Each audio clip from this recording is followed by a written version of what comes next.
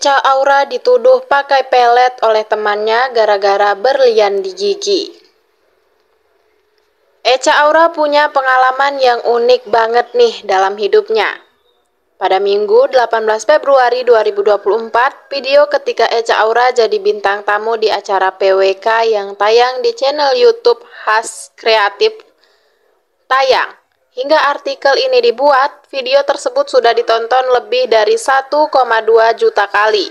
Nah, di dalam video itulah Echa menceritakan pengalamannya dulu dikira pakai pelet oleh temannya. Kejadian pas dia masih SD. Eca ceritain dulu pas masih SD, dia merasa memiliki penampilan yang kurang menarik, tapi dia pintar dan cukup berprestasi di sekolahnya.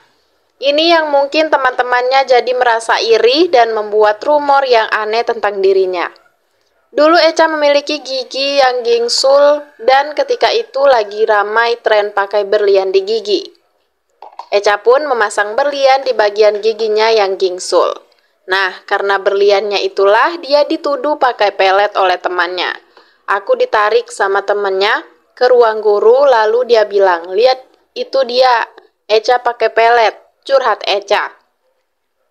Pras Teguh yang jadi podcaster di acara itu pun kaget mendengar curhatan Eca. Pras bertanya, siapa yang bilang? Eca pun menjawab, itu temannya yang bilang tentang itu ke gurunya.